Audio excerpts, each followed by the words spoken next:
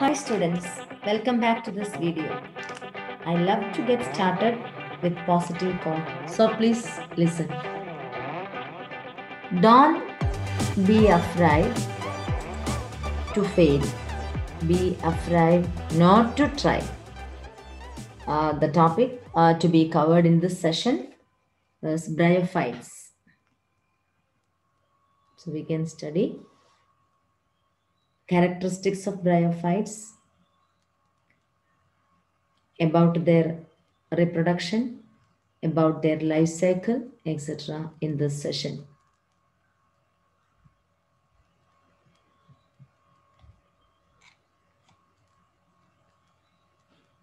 Bryophytes are called amphibians of the plant kingdom.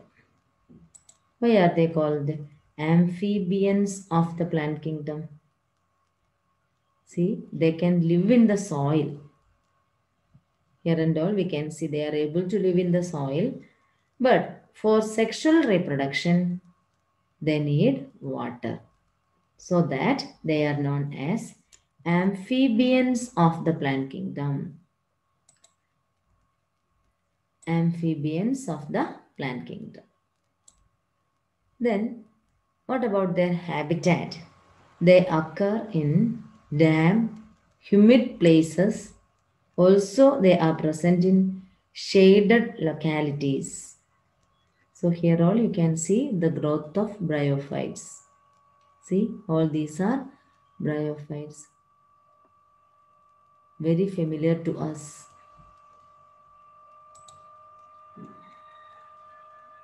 Then what about their body? Here, Funaria is an example for bryophyte. This is the plant body. Here you can see gametophyte. This part from here to here, this is known as the gametophyte and this part is known as the uh, sporophyte. Actually, the plant body is more differentiated than that of algae. It is thallus, thallus-like and prostrate or erect and attached to the substratum with the help of unicellular or multicellular rhizoids. Rhizoids are root-like structures that help the plant body to fix to the substratum.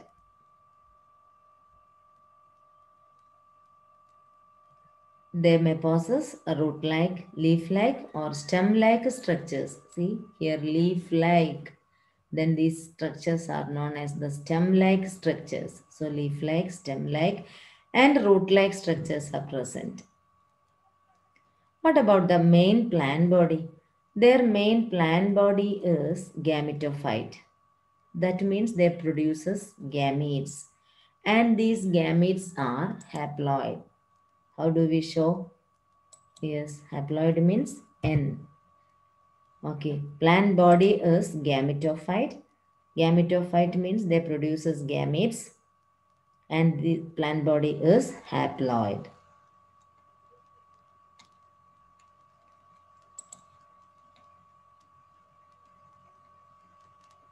Uh, what about the sex organ present in bryophytes? They are multicellular.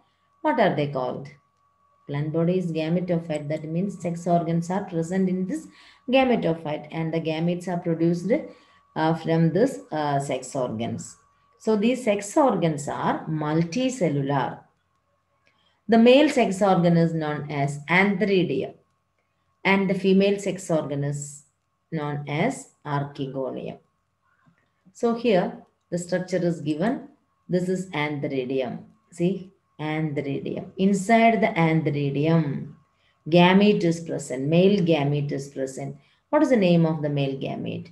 Male gamete is known as sperm. Otherwise, it is known as antherozoids.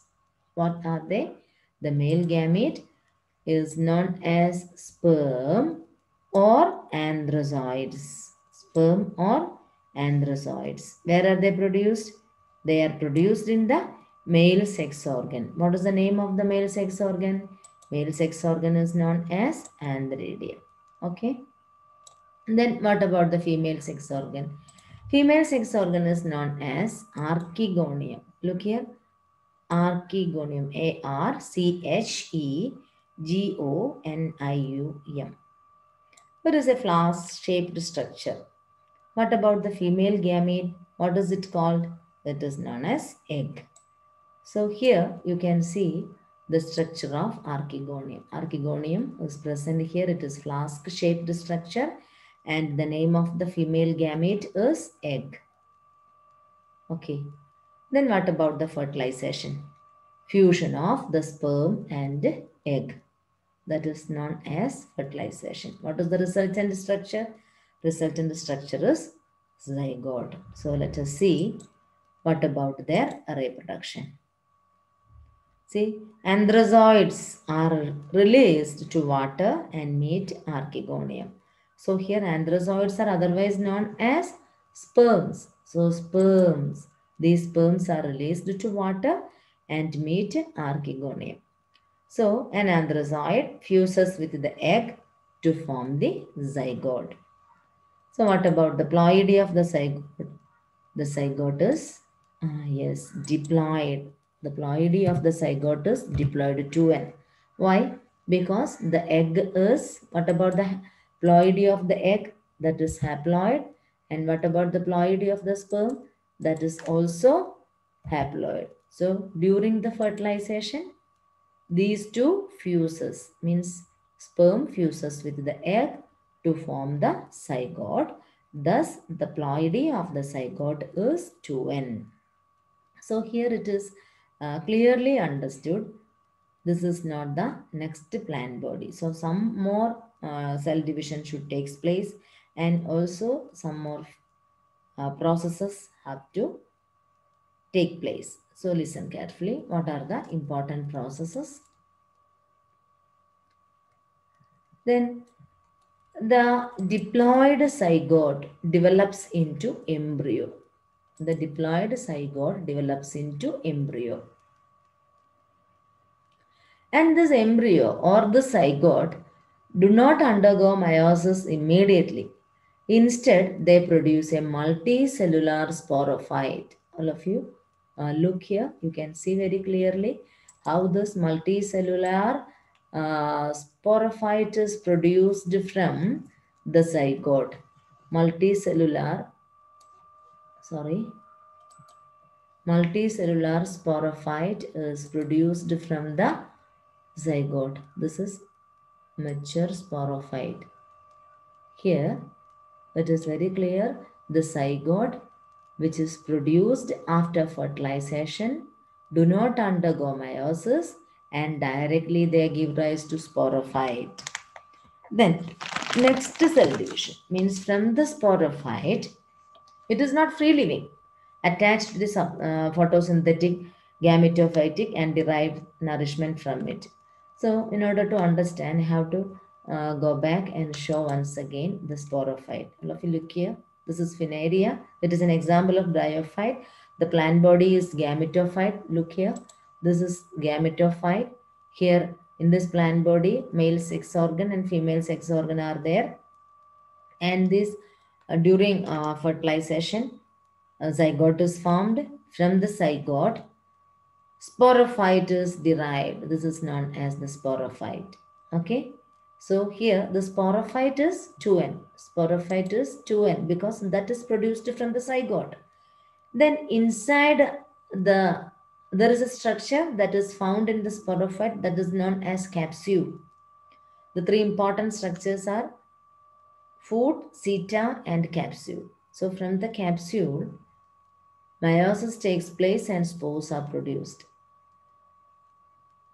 Meiosis takes place and spores are produced. So uh, once again, uh, we can go through this. Archegonium produces egg, Antheridium produces sperm, sperm fuses with the egg to form the zygote and that zygote uh, do not undergo meiosis immediately and they gives rise to mature sporophyte. Then some cells of the sporophyte undergoes meiosis and to produce haploid spores. We know meiosis is the cell division in which the structure produced after meiosis are haploid. That we all know. So, from this diploid sporophyte, spores are produced. So, the spores are haploid. This is 2n sporophyte. Then, when the spores are produced, these spores are haploid.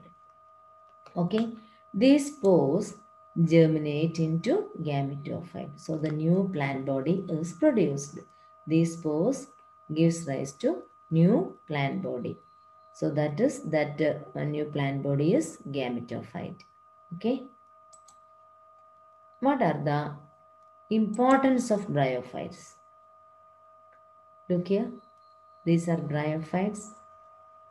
There are many eco- ecological importance. Uh, some mosses provide food for herbaceous mammals, birds, etc. Then some of them, uh, sphagnum, that is a moss, type of moss that provide peat. Yes, it is used as a fuel. It has water holding capacity so that used as packing material for transshipment of living material. Then next use or next importance? They are ecologically important because of their role in plant succession on bare rocks sometimes in the soil etc then mosses along with the lichens decompose rock making the substrate suitable for the growth of higher plants. Since mosses form dense mat on the soil, they can prevent soil erosion. So, dense mat of mosses on soil. Then, these bryophytes are the members during the succession process.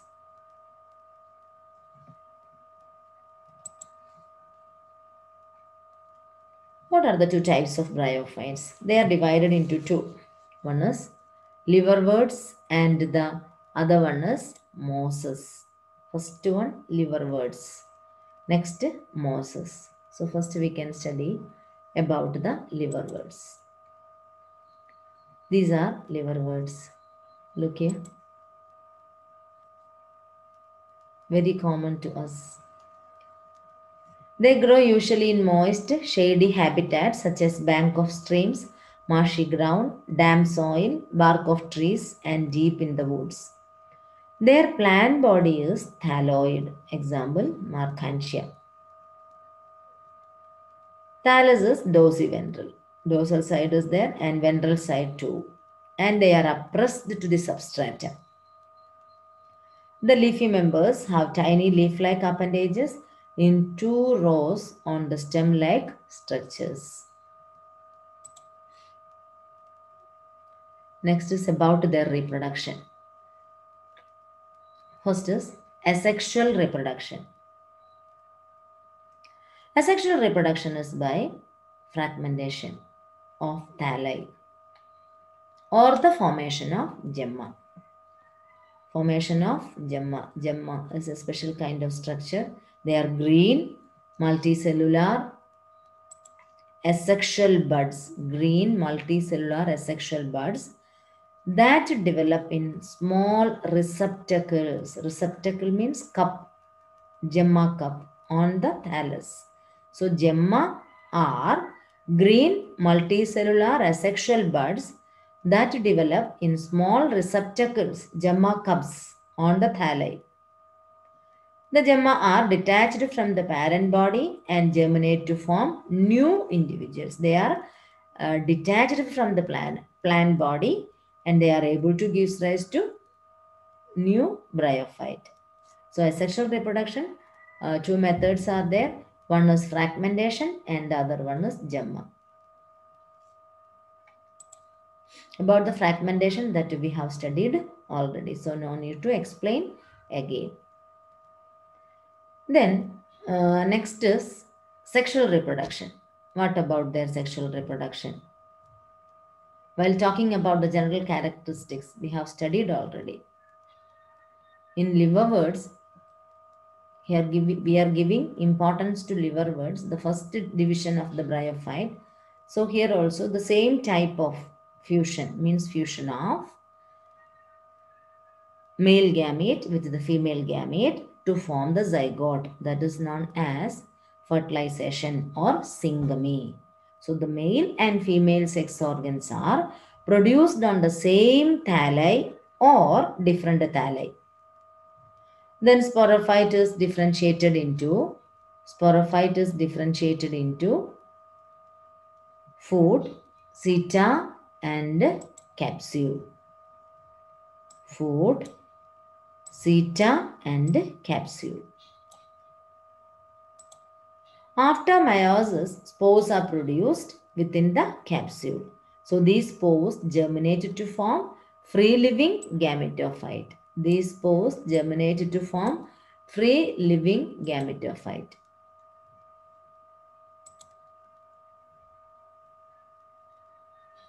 Second type, type of bryophyte that is mosses.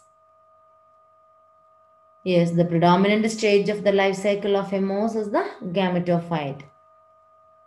General characteristics we have studied. It consists of two stages. Yes, among mosses, it is somewhat differentiate, unlike liverworts. See, look here. The they consist of two stages. What is the first one? First one is protonema stage first stage. What about the second stage? Leafy stage.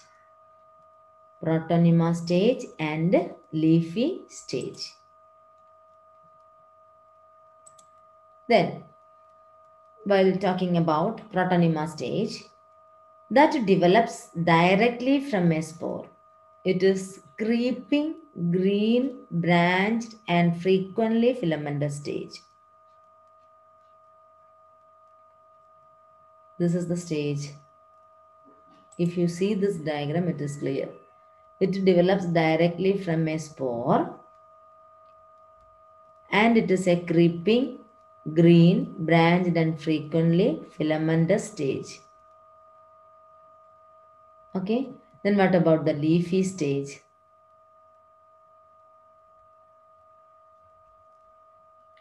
It develops from the secondary protonema as a lateral bud. They consist of upright, slender axis-bearing, spirally arranged leaves. They are attached to soil through multicellular and branched rhizoids. So the stage bears the sex organs. The stage bears sex organs, male sex organ and female sex organ. Next is reproduction. First one is vegetative reproduction like uh, um, liverworts, they also possess fragmentation. And here one more method is there that is known as budding. Budding in the secondary protonema. It is very important. What are the two types of uh, sorry, two types of vegetative reproduction found among mosses? One is fragmentation and the other one is budding.